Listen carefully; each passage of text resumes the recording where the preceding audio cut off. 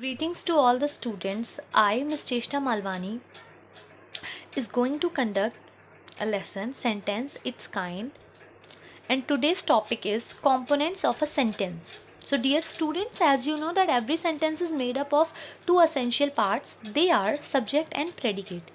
हाँ जी बच्चों यहाँ पर अगर आपको एक सेंसिबल और एक मीनिंगफुल सेंटेंस फॉर्म करना है तो आपको उसके लिए दो चीज़ों की ज़रूरत पड़ेगी सब्जेक्ट एंड प्रेडिकेट तो अब चलिए दोनों को जानते हैं कि वो है क्या subject. The part which name the person or thing we are speaking about is call the subject of a sentence so एक सेंटेंस के अंदर जिस चीज़ की हम बात कर रहे होते हैं, वो पर्सन हो सकता है, एक थिंग भी हो सकती है। तो वो उस सेंटेंस का सब्जेक्ट कहलाता है।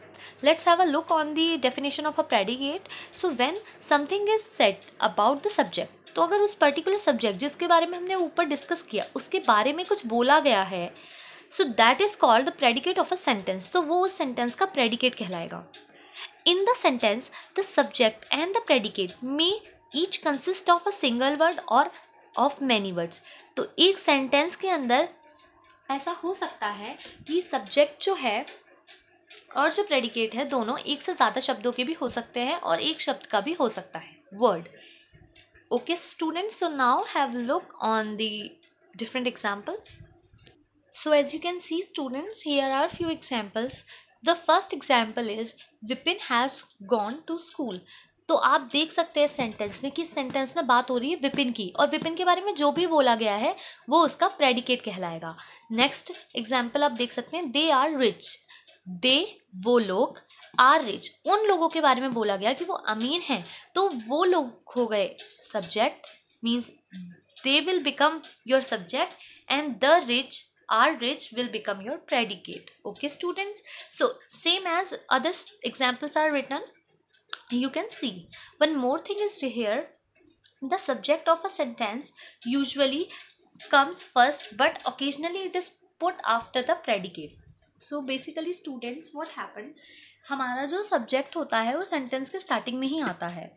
ऐसा लिखा गया है। बट ज़रूरी नहीं है कि हर बार ऐसा हो। कभी कभी वो एट द एंड भी हो सकता है।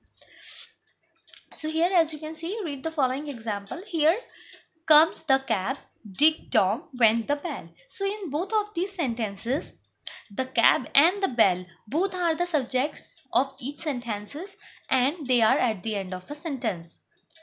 So I hope students you all understood the meaning of predicate, subject and of course the definition of a sentence. And if you did not watch my video, the previous video of mine. So you can go on the description box below. You will gonna find a link and you can watch my that video as well. And students if you really like this video so just subscribe it hit the bell icon and the like button so that you will not going to miss any of my coming video. So thank you students. Bye bye have a great day